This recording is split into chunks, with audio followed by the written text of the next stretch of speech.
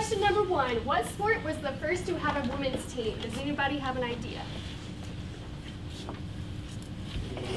Any sport. I said Track? basketball. Basketball. Basketball is correct. In 1902, basketball was the first sport. Make sure that you're marking which ones you get right so we can give out the prizes. Was the first student to pay tuition at FHSU a male or a female? Male. Male. Any more guesses? Female, correct. Jeannie Ward was the first um, student to pay tuition. Question three, how many buildings on campus are named after women? Three. Three? Who said four? You're correct. There is four buildings. We have Custer, Stroop, McMindes, and Agnew. Agnew is actually tore down now, but it's replaced with a new building and is still named after Agnew. So question number four, in what year was the first African American female student elected homecoming queen? 1960. 1970, and her name was Stella Howard. Question number five. The first female VP at Fort Hays State University started in 2008. And we were told, it was Dr. Tisa Mason, and we were told that she did not know that she was the first woman to have any kind of leadership role at Fort, Fort Hays, and that she found out during a meeting, and she got so worked up about it because it's such a huge responsibility and everything that she had to leave the meeting and then conduct herself and come back. And then question number six, in what year did the first female president of Fort Hays State University start her career? 2014. 2014, and it was Dr. Mirta Martin. Okay, so with honesty, how many people got six of all of them correct? Six questions. Okay, how about five? You got five?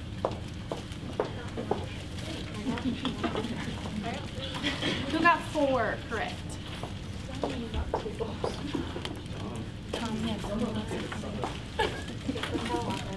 Three? Oh, there's a lot.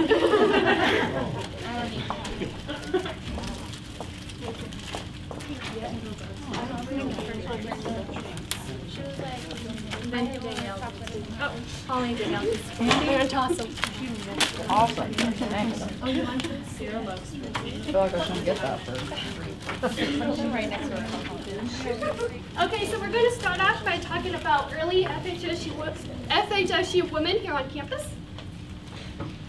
Kathryn O'Loughlin McCarthy, she graduated from Hays State Kansas Normal School in 1917. There is five different names for Fort Hays State, and this was the second name, so you might, it still means Fort Hays State University, so you might just see different names as we are going through the presentation. She's actually from outside of Hays, and she was the first woman and first woman lawyer to serve in Congress in 1933. And then O'Loughlin Elementary School, that's on Hall Street, is named after Kathryn O'Loughlin McCarthy.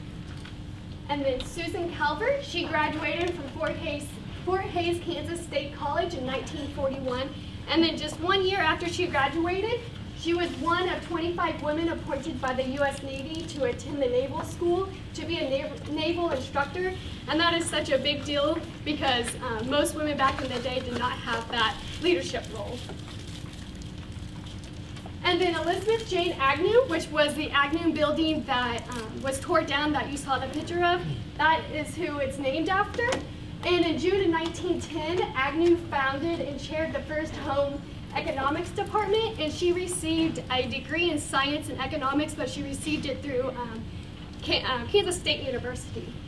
And then she was the first dean of women. Does anybody, does everybody know what the first dean of women means? No? Okay, well, like today we have all colleges of deans, and so like back in the day it was divided up between men and women, so she was the first dean of women in her time. And then one of the first women at Fort Hays for whom a college building was named after, which was a dormitory, uh, it was still a dorm, a residence hall like it is today, but it was for just women. But like I said, it was it was built in 1957 and then it was torn down. Then of course it's rebuilt, but it's still named after her. And then. So next we have Geneva Herndon. Um, she graduated with a English and home economics degree. Um, she founded the communications disorder program here at Fort Hays. Um, it was called Fort Hays Kansas State College at the time. Um, she, in 1950, she taught the first course in speech, speech pathology, excuse me. And then in 1954, um, the first student completed that degree. And then, um, in, as a living memorial, there has been a scholarship established um, for speech pathology majors in her honor. The next woman is Clara Malloy. Um, she actually attended um, Conservatory at the time um, in Lindsborg, and she graduated and was certified in violin and voice lessons. And then she and her husband founded the um, Fort Hays State University Music Department, which she chaired. Um, she also instructed violin students at Hays and in Hays for 54 years, which is a really long time. Um, and then she was associated with Fort Hays for over 40 years. And this is just a picture of her by the piano. And then this is was in the newspaper when she um, passed away. All of these women up here are the first ladies of Fort Hays. Um, president Martin is the ninth president of Fort Hays. So these women were all married to the eight presidents before her. Um, and as you can see, there's Picken Lewis, Rarick, Wooster, Cunningham, Gustad, Tomanek, and Hammond. And most of our res, uh, sorry, academic buildings are named after um, the past presidents of the university. So now we're going to talk about the, our present women here on campus. We do want to point out that there's a, many amazing women here on campus that's creating change and making history, but we do not have time to talk about all of them, of course, so we have just chosen a couple of them, so that's what we're going to talk about. Of course, uh, Dr. Martin, who is the ninth president here at Fort Hays, she was the first female president um, of Fort Hays State University, and when it was founded in 1902, and then whenever she was uh, elected as president, um, that equals up to be 112 years. So that's a really long time, and that was why it was such a big deal that we actually had a female president here on campus too, um, as our leadership role.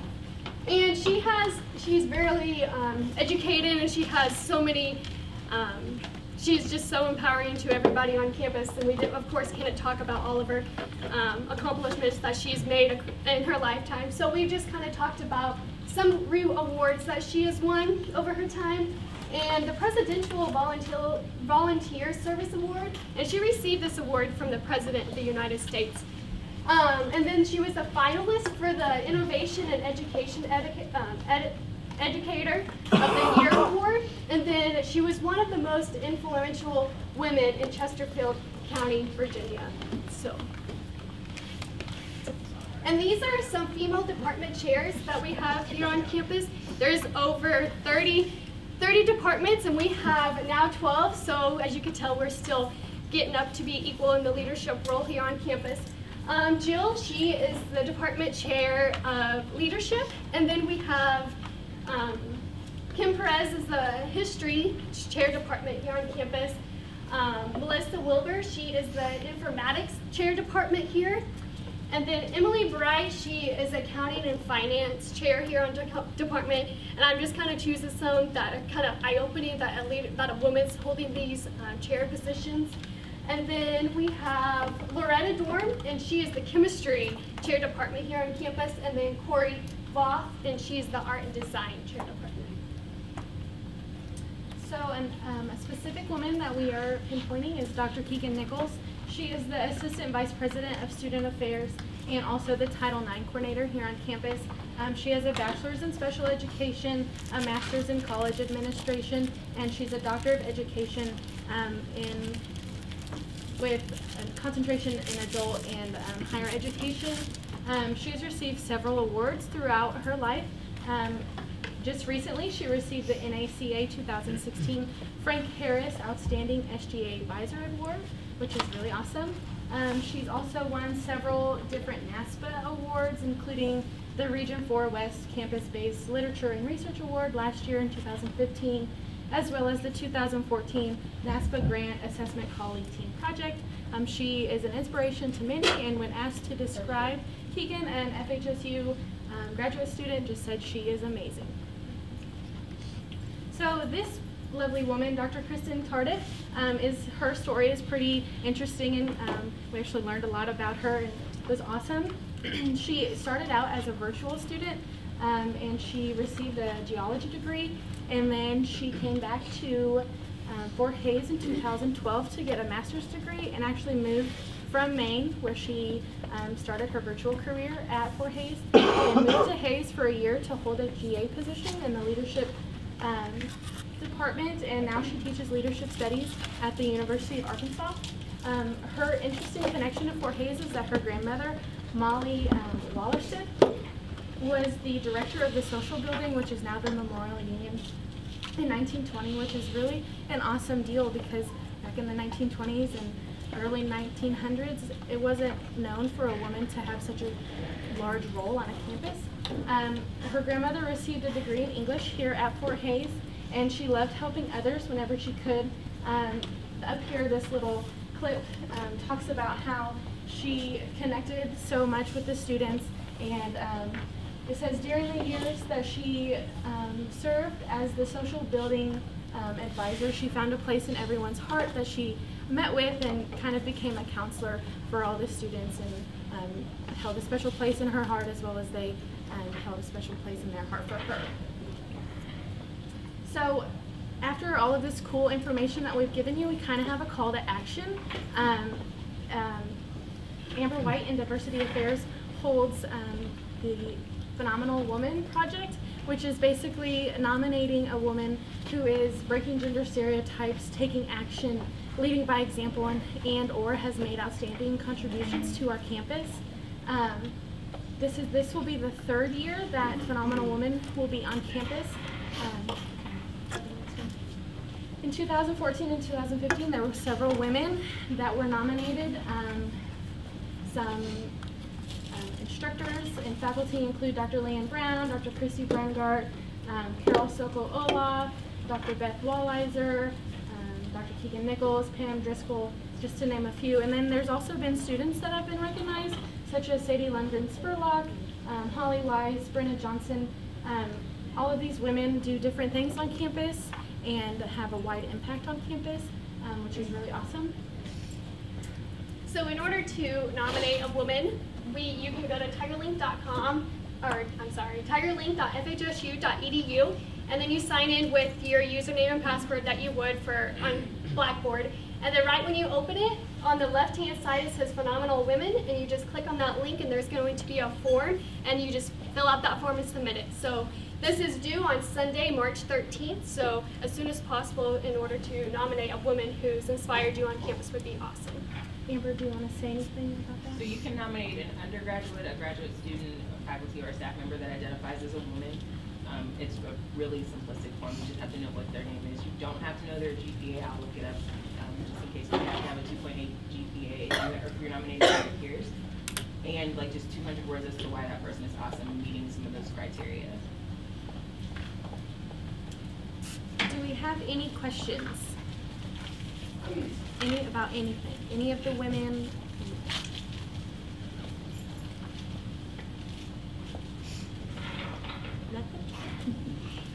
Do want to say a special thank you to Sherry and Patty for coming to our Times Talk, of course, and also providing us some pictures and some information of women in the early stages. So thank you so much for taking the time out of your busy schedule to do that for us. Would you girls want to say anything about any of any women here on Fort Hays that's inspired you or that you look up to, or any questions for us? Well, we have a, our library dean, Deb Ludwig, she's the first woman to be the director, the the dean, the main dean of our Forsyth Library, so she's pretty inspirational. Of course. Thank you all for coming today. Thank Um, before you guys run off, um,